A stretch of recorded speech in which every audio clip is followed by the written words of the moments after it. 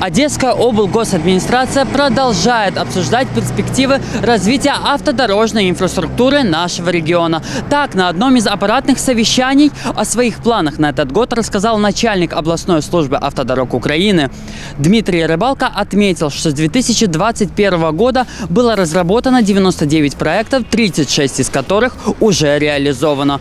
Е, В тому числі ці проекти містять такі е, масштабні проекти, про які анонсувалося раніше. Це і велике і мале великоло Одещини. Е, В них також є, е, включається М- М05 Київ-Одеса е, по всій протяжності в Одеській області. Це по всій протяжності М14 від Одеси до Миколаєва, тобто до в нашому випадку до міст ну, Коблево.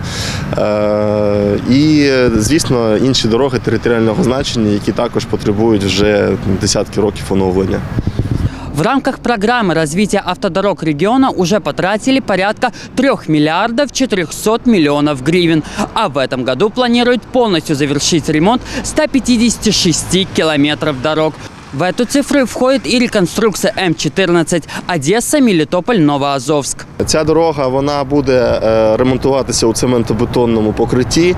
Е, Там, де вона звужується, вона буде розширена до чотирьох е, смуг руху. Буде побудовано транспортну розв'язку на перетині доріг М14 і М28 Одеса Южний. Тобто поступово ми йдемо до того, щоб покращити цей стан до безпечного рівня вимог європейського законодавства. Також перший проект капітального ремонту він вже готовий. і Ми оголосили торги.